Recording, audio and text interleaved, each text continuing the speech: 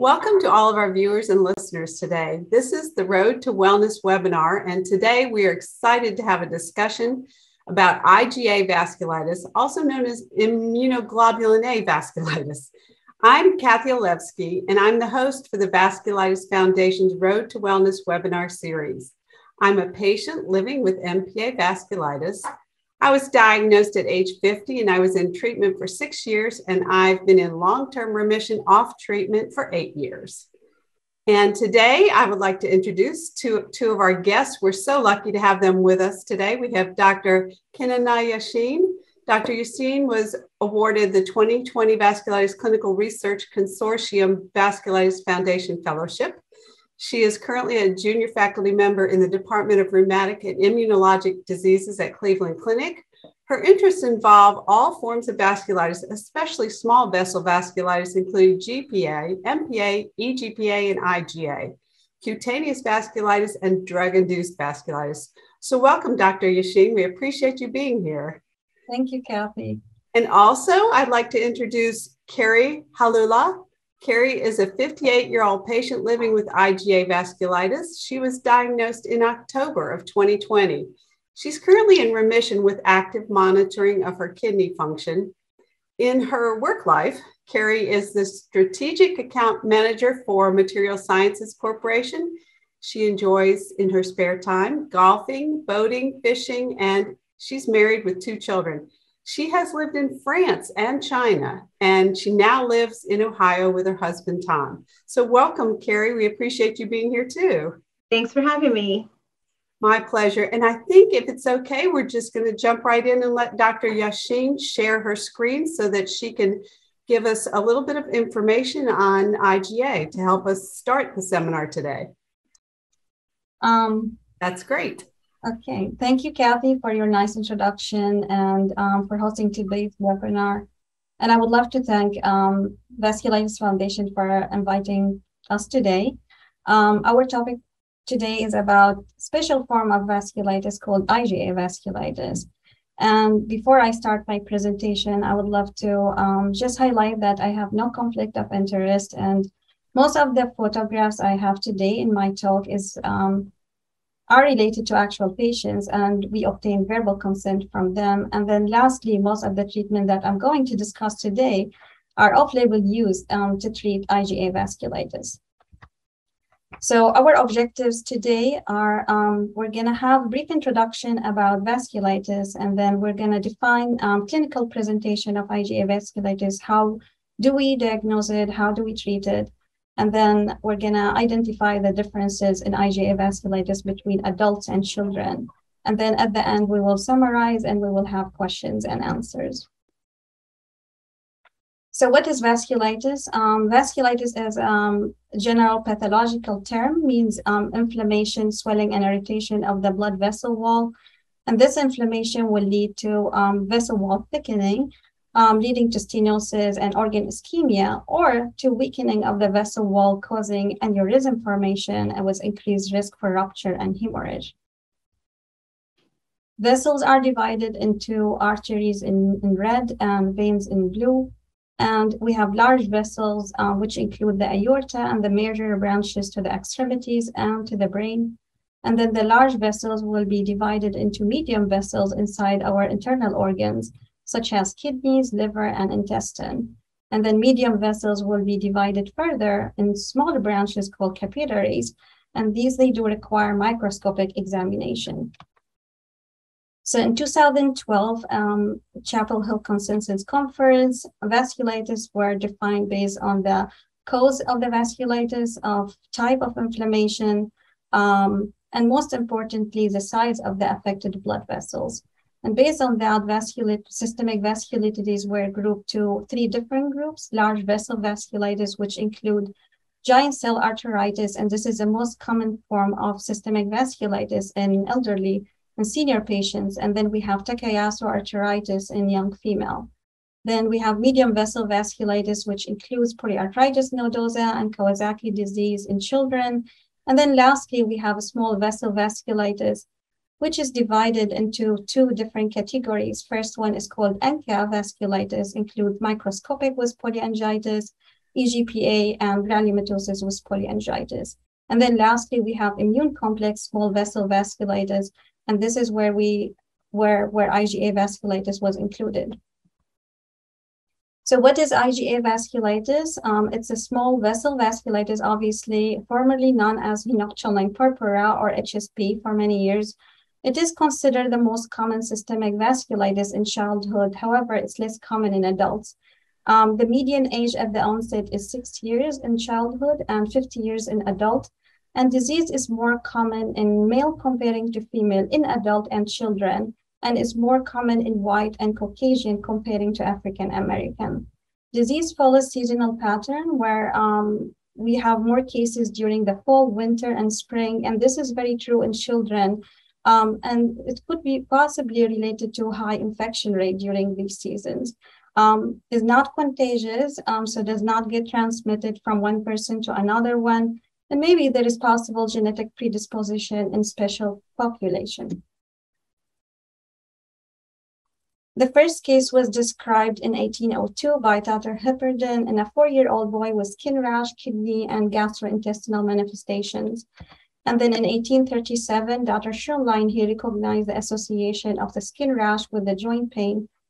And then we have Dr. Hip, um, he know he in 1874 he added the presence of gastrointestinal symptoms and renal involvement, and that's why the disease was called for was called with um, Henoch-Schönlein purpura for many, many years. So what is IgA? We have four different um, protein in our um, in our body called immunoglobulins or antibodies, and IgA um, is one of them. They are part of our immune system. IgA antibodies mainly present in our mucosal secretions in our nose, in our throat, in our stomach, and small intestine. And it's it is considered the first line, the first the first line defense in our immune system against bacteria, viruses, and foreign pathogens. The exact pathogenesis of IgA vasculitis is unknown, but I but reportedly combination of genetic predisposition in addition to environmental factors such as um, infection or drugs may trigger the immune system, certain cells called B cell. And this is will lead to overactivation of abnormal IgA antibodies and then lead to formation of large molecules. And then this molecule will accumulate in the vessel wall, um, causing overactivation of the immune system again, producing different chemicals. And this is will lead to inflammation of the vessel wall, um, causing damage and leakage of the blood outside. And that's why the name was changed in 2012 to IgA vasculitis, just to reflect the pathogenesis. And what do we see on the biopsy when, when in IgA vasculitis patients? So IgA vasculitis can be triggered by infections, medications, um, possibly vaccination, and is associated with, with malignancy and other autoimmune diseases as well. Um, as, I, as I mentioned earlier, disease um, follows seasonal pattern where we have more cases during the fall, winter, and spring due to high infection rate, possibly. Most common infections are upper respiratory tract infection, including um, streptococcal, pharyngitis, gastrointestinal infection, hepatitis. And this is reported in 41% of cases in children versus 20% in adults. Um, many drugs can trigger IgA vasculitis, including different antibiotics such as clarithromycin, anti-inflammatory medications such as ibuprofen, and certain medication that we do use to treat our patient with certain immune uh, autoimmune disorders called um, tumor necrosis factor inhibitors. And this is reported maybe to up to 15% of cases. Um, can be associated with malignancy as well, and this is up to 10% of cases, mainly in adults. And the most common malignancies are lung cancer, prostate, kidney problem. And usually um, we discover the malignancy a few months after the vasculitis onset. Um, IgA vasculitis is also reported in association with other autoimmune disorders such as familial Mediterranean fever, Crohn disease, ulcerative colitis, and certain other type of vasculitis called Behçet disease. Now, there are a few reports about vaccinations such as influenza vaccine, MMR, and recently post, post-corona-19 vaccine triggering IgA vasculitis as well. So how do they present? Um, skin rash is a presenting sign in almost 80% of cases. And the, the classic rash in IgA vasculitis is called purpura. And usually it's non-blanchable. It means like when we are pressing on the skin rash, it does not fade away. Usually it's raised above the skin. It looks like bruises, is non-itchy, non-painful, can be burning a little bit. However, in adults, maybe they might present a little bit different. They might have necrotic lesion, they might form blistering, and they might have hemorrhagic lesions as well. Um, primarily, the rash will be located in the lower extremities, and this is very true in children. However, in adults, it can be anywhere on the hand, on the face, on the uh, uh, on the chest and the abdomen. And usually skin rash is a little bit difficult to treat in adults comparing to children. Different conditions may cause skin rash, just looking similar to IgA vasculitis, such as viral infection, drug eruption, vitamin deficiency, other kind of vasculitides, and bleeding disorder. And that's why skin biopsy is often needed um, to confirm the diagnosis of vasculitis and IgA vasculitis. The first, um, the first photo on the left represent the classic purpuric rash on the legs, as we see here in patients with IgA, with biopsy-proven IgA vasculitis. On the other side, we see like um, a typical location on the hands, and we see a typical appearance that the lesion they did ulcerate here. And again, this is biopsy-proven IgA vasculitis. The second manifest manifestation is joint pain or arthralgia, and this is present in almost like 80% um, of cases in children and in adults, and usually associated either with soft tissue swelling or um, joint swelling as well. Usually does not cause any permanent damage, and it does last like for a few days, for a few weeks. And some patients, they may report just like diffuse muscle aches without having significant elevation of muscle markers. Um, differential diagnoses again include viral infection and other autoimmune disorders such as rheumatoid arthritis and others. The third manifestation, gastrointestinal manifestation, and this is a present in more than half of the cases in patients um, in children and in adults. And usually symptoms are divided into mild symptoms such as abdominal pain and vomiting, and into severe manifestations such as gastrointestinal bleeding, as you can see in this photo. Um, this is what's captured um, during colonoscopy in one patient with IgA vasculitis. It may lead to necrosis and bowel perforation, and one serious complication called intussusception, and this is very well known serious complication of IgA vasculitis, more reported in childhood comparing to adults, and in up to 13% of cases, and usually patients that will present with severe abdominal pain, vomiting, and bowel obstruction. This is considered one of the emergency in IgA vasculitis. Most importantly is renal involvement, and this is more more more um, more recorded in adults. Um, usually, patients they will have no symptoms at all, and the urine continues to be normal, completely yellow looking, and um, however, they may present with new onset hypertension or like they will notice some like soft tissue uh, swelling. Um, oftentimes when we when we are thinking about IgA vasculitis, we need to screen, we need to do a routine urine analysis, just like to look for protein and hemoglobin.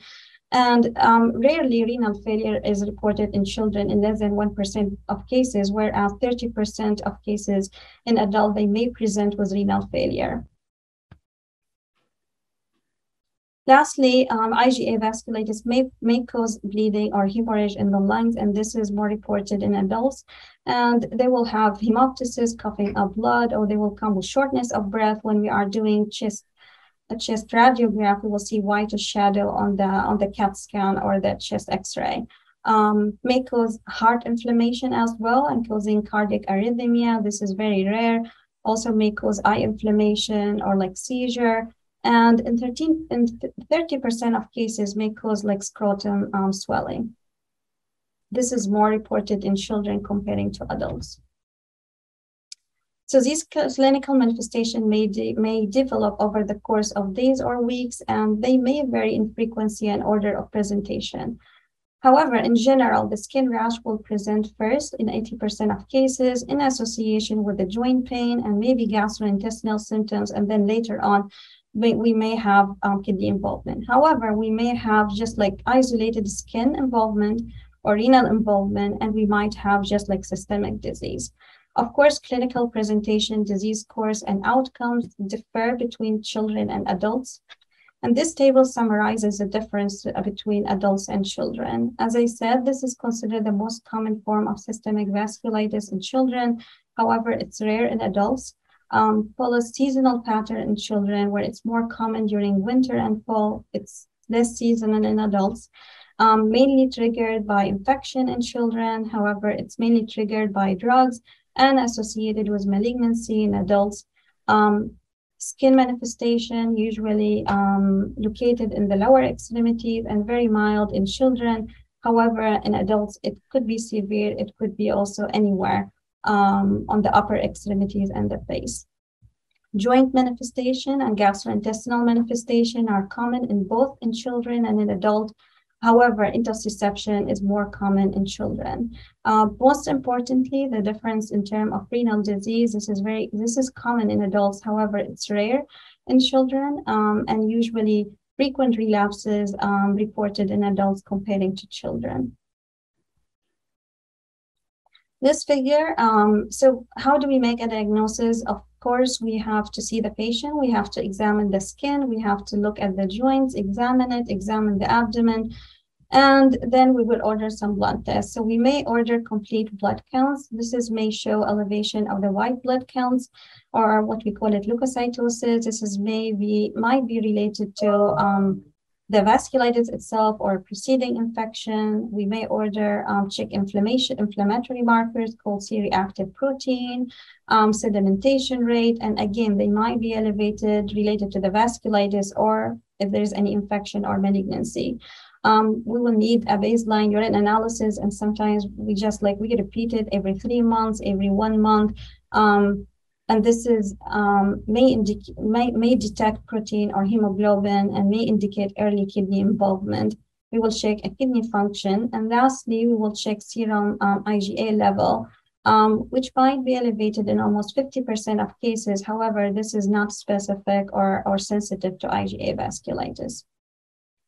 If we have a skin, we have skin rash, we will we will recommend biopsy. If someone is complaining about abdominal pain or they are having some bleeding, we might refer them to gastrointestinal doctor, just like to um, maybe maybe do upper endoscopy, colonoscopy. And um, if there is any abnormal kidney function or abnormal urine analysis, we may recommend kidney biopsy. This is so so skin biopsy uh, um, is required first to confirm the diagnosis of vasculitis, right? To identify what kind of skin rash this we are, this patient is having, and then secondly to um, confirm the diagnosis of IgA vasculitis. So what do we see on the skin biopsy? We will see evidence of um, vessel wall destruction. Okay, so we will see inflammatory cells infiltrate in the vessel wall um, something called fibrinoid necrosis. This is means like destruction of the vessel wall, and we might see extravasation of the red blood cells outside of the vessels. This is this is called leukocytoclastic vasculitis, but it's a general term. It means just there is some vasculitis in the blood vessels, so we need a we need an additional technique called direct immunofluorescence. This is to detect IgA um, deposits in the vessel. If we have isolated kidney involvement without any skin rash, or let's say the skin biopsy failed to confirm the diagnosis and we have abnormal kidney function or abnormal urine analysis, we may recommend kidney biopsy in order to confirm the diagnosis. This figure shows the how do we approach patient with confirmed IgA vasculitis. Before I talk about it, we have to address, we, I would like to highlight a few important points here. First of all, we have to identify if there is any trigger. If there is any infection, we have to treat it. If there is any offending drug, we have to remove it. Usually, I look for cancer in someone 60 and older, just like making sure it's not, there's nothing really driving the IgA vasculitis. In most of the cases, disease is self-limited, does not require any treatment.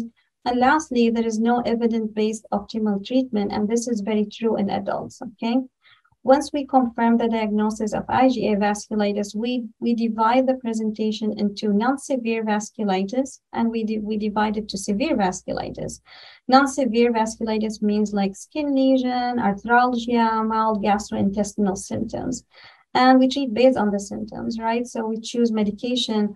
We might choose, like we might say, try acetaminophen, non-steroidal anti-inflammatory medication, even though we should avoid them if, are, if there is any abnormal kidney function or like concern about kidney involvement or if there is any concern about gastrointestinal bleeding. We may recommend glucocorticoids, steroid, or prednisone. And then if we failed glucocorticoids, we might recommend adding one of these medications to control the skin rash, such as dapsone, hydroxychloroquine, colchicine, azathioprine, and methotrexate. Severe vasculitis includes re renal failure, gastrointestinal bleeding, severe skin manifestations, and we might admit the patient just because sometimes they would require like intravenous glucocorticoids, they might require blood transfusion, further assessment, um, immediate workup for them if we're having abnormal kidney function. And we may we may add like glucocorticoids in addition to um, other immunosuppressive medication medications such as cyclophosphamide, rituximab, or mycophenolate mofetil. So as I said, in most, it's very good outcome in pediatric population. Um, however, a little bit less favorable in adults. Um, chronic kidney disease, they might, it's more common in adults and renal failure as well comparing to children. Relapses also are more common in adults comparing to children, and where we have more skin, gastrointestinal, and arthritis, and mortality rate is up to 3% of cases. So to summarize, it's the most common systemic vasculitis in childhood. It's rare in adults. However, we don't understand it very well in adults. I don't know why. IgA vasculitis might be triggered by drug infections and malignancy, we have four cardinal um, involved organs our skin, kidney, joint, and gastro gastrointestinal tract. Skin and or kidney biopsies are required for diagnosis. Disease is self-limited, does not require treatment in most of the cases. There is no evidence-based optimal treatment. In most of the cases, it's very good prognosis in pediatric population. However, renal failure and chronic kidney disease are more common in adults comparing to children and we and and um, future research of course are required in in order to understand the many aspects of IgA vasculitis and we have a few ongoing studies looking at rituximab to treat um, kidney disease and looking at colchicine in treating skin disease as well. Thank you. Well, thank you, Dr. Yaseen. I feel like I almost understand IgA vasculitis now. Uh, I, I think at this point, if it's okay, we'll let um, Kari talk a little bit. We're going to talk about her, let her share her story about di- being diagnosed with IgA vasculitis. And um, also, she may have some questions for you in the end, if that's okay. Sure. All right, Sherry, I think um, Dr. Yaseen, you want to stop sharing or then we can see Kari? That would be great. Sure. All right. And Kari, if you are unmuted, we would love for you to just share a little bit about how this came about for you. Yes, for sure. Um, well, I was um, diagnosed, this all started back about um, October of 2020. Um, I happened to be working from home that day. Um, that was the start of where our COVID restrictions were coming through. And so I noticed that I had um, that morning a lot of stiffness and swelling in my ankles and my hands seemed to be kind of tight. And um, as the day progressed, um, the rash started um, on my feet, on the top of my feet. And then at least seemed like every 20 minutes that it started just crawling and it was started coming up my legs um, onto my arms, but then it came up through about half of my torso and then it stopped. It never went any further from that. Um, at first, I thought maybe I had eaten something, maybe I just had an allergic reaction. Um, but the swelling was very odd because I never had anything um, with swelling or stiffness before. Um, so I had called my local physician, and that's right when the COVID was uh, kind of rearing its head. So they thought perhaps maybe it was COVID related. So they wanted me to test that day before I came into the office. And that's when we had like a three day waiting period. So I went and I tested, and then I just stayed home. I wasn't allowed to come back to work in case I had COVID. Um, so I went through my three days of waiting. Well, during that period, um, I started having some severe stomach cramping and started with the vomiting, and it was getting more severe and more severe. So I had called my local doctor, and she um, said to take take me to the ER. So once I got to the ER, things were kind of being tested quickly, and they realized that um, I was having obviously some kidney function issues. And that's when um, they directed that I'd be taken directly to Cleveland Clinic that evening. So I arrived at Cleveland, and um, upon um, uh, coming there, you know, they started the blood testing and various other tests. And um, I ended up, um, I did have a um, skin biopsy as well as the kidney biopsy, which finally um, did confirm that it was the IgA, which I was diagnosed with. And then from there, um, sent home with some medications and everything. And then I followed up um, and ended up in the care of Dr. Yaseen, thank goodness. And um, so we started working on a plan of attack. And um, so we did treat with some steroid treatments um, for quite a while. Um, and so we worked through kind of weaning off of those for several months. And um, so we, we were doing well. And then about, um, I would say about 10 months later, it was the summer after, then um, lo and behold, I woke up again had the stiffness and the swelling, and the rash came back. So um, back up to Cleveland, and we talked again, and uh, we changed up some medications and so forth, and uh, kind of did a little bit of different regimen uh, based on Dr. Yaseen's recommendations. And um, after that, you know, we we finally got off of the steroids, which she knows I love so much, and um, I um, we're on hydroxychloroquine right now with a few other blood pressure medications, and I'm stable. And we're monitoring the blood work and um, the urine for the kidney function. And um, so at this point, the IgA is pretty uneventful since that time. Well, gosh, that's quite a story. Um, before I ask you some questions, Dr. Yaseen, do you have anything you want to comment? Yeah, so so I mean, I remember the first time when I met with her, like in the office, um, I went to show her skin rash. Um, I do have a photo of that. Let me just share it here.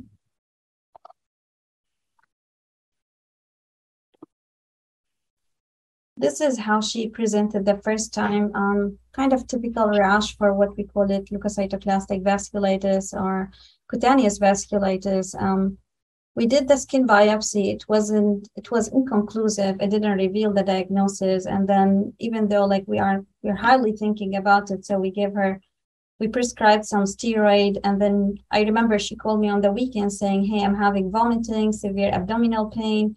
We sent her right away to the emergency department. She got admitted. Her kidney function they were up, so we were concerned about kidney involvement at that time and gastrointestinal involvement. Um, she got a CAT scan. It did show possible inflammation in her small intestine. And then we ended up doing kidney biopsy, which did confirm the diagnosis of IgA vasculitis at the end. Um, of course, after that, we had to put her on, as she mentioned, on um, long course of glucocorticoids or steroid. It did take like almost eight to 10 months to become off. Um, during that time we discussed about adding another agent at that time we didn't add we just we we select we we elected to just to go with the glucocorticoids and then she had another relapse and we noted that um, the protein in her urine analysis was was trending up so we selected we elected to add mycophenolate mofetil she did fine everything did improve and no recurrence of the skin rash and then um, because of the COVID, of the coronavirus and the pandemic and the concern about infection, we just we decided to discontinue mycophenolate. And then she had minor flare of her skin rash, so we decided just to add um, hydroxychloroquine. And since then, um, no recurrence of the skin rash, kidney function normal, even protein in the urine has been trend, has been improving as well. Well, that sounds like great news for you, Kari. I'm I'm glad you got such uh, great treatment from Dr. Yaseen so that you're under control. I did want to ask you, Kari, what what have been some of the biggest challenges for you in dealing with IgA? Um, well, I have to say it's um, most probably the joint pain because prior to this and COVID as well, um, we were very active people. And um, so that's really slowed me down quite a bit. Um, the other thing that um, uh, was a result of from the high doses of prednisone is I went through a period of time for about three months of severe hair loss, which was very scary. Um, so that was um, just something I didn't expect. And uh, but the, I would say the joint and swelling pain um, was a thing that affected me personally from doing the things that I normally would do. Mm-hmm. I have heard that from many vasculitis patients. Mm-hmm. How, how, did the disease change your life, like impact on your family and your career? Some people say that it just kind of totally derailed work and family things. How did oh, that Well, I'm very blessed that I work for a wonderful company um, because they allowed me to actually transition to work from home for almost a total of a half a year for six months.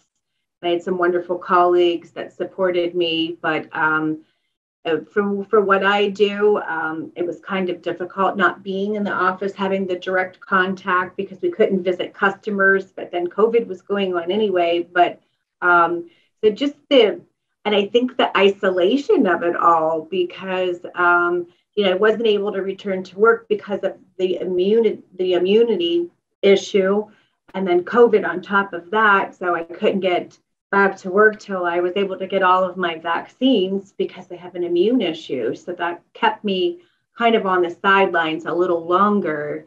And I have to say, you know, but everyone was going through a little isolation, but um, that, you know, um, along with, you know, just not we were, my husband and I were doing personal training and really getting fit and moving towards some goals that we had and so all of that, you know, due to the the joint pain and swelling and everything just all got sidelined. So that really was kind of a, um, a tough thing to handle at that time. It sounds like it. Um, I know that we talked a little bit, or Dr. Yaseen talked a little bit, and you did about you've experienced some remission and relapse. And can you talk a little bit about that experience, how you dealt with either one of those stages, basically? Um, well, as she mentioned, I had the relapse approximately, I think it was 10 months to one year, and um, kind of disheartening because I thought we had it pretty much behind us. So, um, yeah, it was it wasn't nearly as severe, and it was much more short-lived. Um, I recovered uh, quicker from it. it. It wasn't as long-lasting as the first but um, kind of disappointing to see I fell into that percentage of the relapse group, you know, but so far um, it's been uneventful since then. So hopefully it's, we're moving in the right direction. Dr. Yaseen, do you have any questions or any comments about um, Kari's care or her relapses before we go into asking you all the questions we've gotten from patients, which are many? my only comment about um, her course that the skin biopsy did not did not show vasculitis or confirm the IgA vasculitis. And I want to highlight the reason why, because you know, when we when we recommend to obtain the biopsy, we need to obtain a biopsy from a fresh lesion that is like 24 to 40 hours old in order in, in order to detect IgA deposits. Okay. So that's why we had to do the kidney biopsy at the end and just in order to confirm her diagnosis. And it's very hard because, you know, like, oh, which lesion is like 24, which one is yeah. State. So it's a little bit hard but that's that's usually dermatology they will know exactly okay which one is new which one is old so they won't biopsy the old lesion um, um, i think i think yeah her case is very typical of iga vasculitis well we're glad she got care with you so that you could uh, get it under control for her so now we're going to delve into, we've gotten many questions from IGA patients, and we're going to try and get as many as we can in. Um, the first one is, and this is interesting because we did a webinar on um, urticarial vasculitis not too long ago. So the patient asks, what, if any, are the differences between IgA and urticarial vasculitis? Are they both treated similarly? So um, urticarial vasculitis usually in general cause, um, causes hives or um, very itchy lesion. Comparing to IgA vasculitis will cause like bruises, like purpuric rash. Um, yes, we do use some medication in common to treat both conditions such as colchicine, dapsone, hydroxychloroquine, but sometimes in urticarial vasculitis, we have different categories of medication to treat that. So appearance is a little bit different, symptoms different, um, and treatment can be different as well. Though, like there are some common medication we do use to treat both. Thank you for answering that. Um, this is an interesting one. You touched on a little bit the other name that this was known by, the Henoch Schönlein purpura. And one of the patients asks, why, why, was the disease changed from this name to IgA? It's interesting because this has happened to several versions of vasculitis. That's very true. Um, and the main reason why it was changed in 2012, just to, to reflect, you know, what we are seeing on the biopsy, the histopathology. Um, and this is, and that's why it was changed to IgA vasculitis in, in, instead of HSP or Henoch-Schönlein purpura. Well, there's always a good answer. uh, do patients sometimes have IgA and another type of vasculitis? And if so, what is there a common other form that they get? There, I think there are there are um, few reports about association of IgA vasculitis and um, disease. This is um, another form of systemic vasculitis, and I've heard about some association with ANCA vasculitis and IgA vasculitis, but I haven't seen any case yet. Okay. Um, interesting because I think when I talked with Kari earlier, she this this question might have some she might have thoughts on this too. Other uh, one patient says that they've read uh, things about IgA. Other possible triggers for IgA vasculitis include certain medicines, food reactions, insect bites, vaccinations and rarely cancer, which you did touch on that a bit, but there seem to be so many varied things. And sh- this patient is saying, I don't understand what is common among them. And I think you also touch a little bit on pathogenesis could be environmental, or there's some question about that. And that's what Kari was maybe wants to talk about a little bit. I'm not sure. Yeah. So as I mentioned, the most common trigger in, in, in children is infection um, upper respiratory infection, gastrointestinal. However, in adults, um, medications, like specific antibiotic, um, anti-inflammatory medication, um, tumor necrosis factor inhibitors, um, malignancy, other autoimmune disorders. Um, and um, this is maybe vaccination, few reports about vaccination may trigger IgA vasculitis. And I think few reports about insect bites, and I will let Kari talk about that from her experience. Because we've had a lot of conversation about this. Um, there's really no, I don't think we have any evidence behind it because um, of what the chemical in question was. Um, I had uh, some bee issues at my home, both internally and externally. And um, coincidentally, about three to four weeks before I had my first initial reaction, um, I had bees internally in my ceiling, and I had an exterminator come in and spray for them. Um, that was the only thing that um, we were trying to determine any change in any dietary medication infections or whatever we went through the list and so this was the only thing that i that was out of the ordinary that dr Yaseen and i have discussed and ironically, like the next after the next 10 months, we had an issue outside. So I had the exterminator come and spray on the outside of the home. And it was shortly after that that I had my little episode of the relapse. So whether they're connected or not, or just coincidental, we can't. There's so many um, ingredients in that. You can't get a like a material data sheet to pinpoint anything. We'd never be able to pinpoint anything specific. So um, it's just ironic. We we can't say for sure, um, you know, if there was anything in there, but it was just something that uh, presented itself, and we've we continue to discuss. So as a possibility. What did you think about that, Dr. Yaseen? I think it, it is possible. It is reported. I don't think I can confirm that by any way, and I don't think I can rule out anyway. Right. Mm-hmm. Well, another question that we got, he did touch on this a little bit about the difference between uh, it affecting children and adults, but somebody says, why does IgA typically affect children more than adults?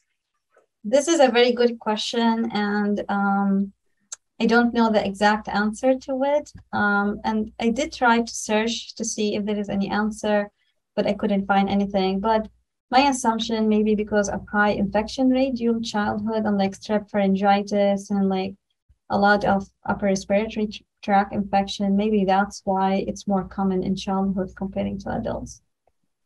Understood. There a couple of the other questions you did completely address in your um, presentation so i'm going to skip one and move down to i'm confused by the term IgAN is this another form of iga vasculitis i read it's another name for Berger's disease. And is this accurate?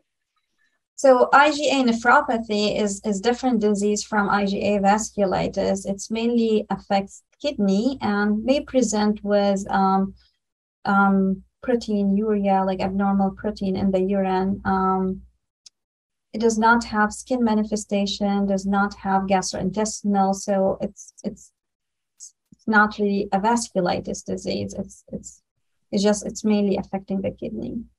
This one is this next question was is very um, normal and heard quite often. Is there any validity to some articles suggesting that patients who received COVID vaccines later developed IgA vasculitis? And is it also true that the flu shot has been associated with developing IgA in rare instances? Um, there have been few reports about um, reporting IgA vasculitis new diagnosis or even reactivation of IgA vasculitis post coronavirus vaccine. Um, I don't think we can confirm such association with certainty. I don't think we can rule it out 100%. Um, it is very possible. Um, but however, cases are very mild, did not require too much of immunosuppressive therapy. And I don't think that would be absolute contraindication to receive the vaccine. We have to remember that vaccination did save a lot of lives, right? So at the end of the day, it's case by case, it's a shared decision between the patient and the provider. And thanks for saying that again, because we do like to repeat that message how important the vaccines actually are and how much evidence there is about how, how great they've been for us. Um, I did want to ask one patient sent in a question. Um, once the patient has had kidney failure caused by IgA vasculitis, if they get a kidney transplant, what are the chances IgA would recur in the transplanted kidney? I thought that was an interesting question. I think it may. Um, and if I remember correctly, maybe in up to 10% of cases. So even after kidney transplant, they still they have to monitor the kidney function and the urine analysis. Okay. And now I have a couple of questions for you about research. And I'm hoping you're one of them is what are the missing gaps or areas of highest interest to researchers concerning IgA? And are there any recent or clinical studies looking at these areas of interest? Um, yes, I think we need, I think we have few gaps in understanding few aspects of um, of IgA vasculitis, understanding the disease, the differences between adults and children, why it's different, why it's more common in children comparing to adults. And we have a few ongoing studies um, looking at rituximab. This is one immunosuppressant that we we do use a lot in our vasculitis um, for our vasculitis patient to treat renal disease.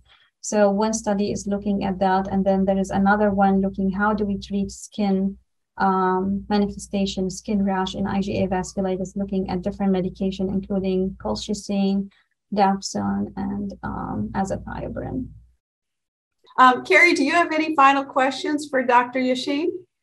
Um, I was just con- uh, concerned about what she thought about what causes the flare-ups, uh, um, uh, the relapses. Again, what could cause that? Is it something, you know, could it be dietary or medicinal, or just what you thought about that? Um, I don't know the answer for this question, but I think once you have one relapse, it means that you are at risk for having further relapse in the future. And um, we, we, I mean, you, in general, as I said, infection, medication, others could trigger the relapse, could trigger the disease in the beginning. So once you have, in your case, you had one relapse already. So this is will put you at higher risk for having another relapse in the future. Mm-hmm. But I don't know if I can identify the trigger. Sometimes that, it's very hard. And that's hard, I know. Yeah. And that's a hard thing to hear. And uh-huh. I personally understand it. I, I had five relapses, but I've been eight years without a relapse now. So, oh, that's awesome. I wish you well. Thank you. Thank you. I'm in good care. You are.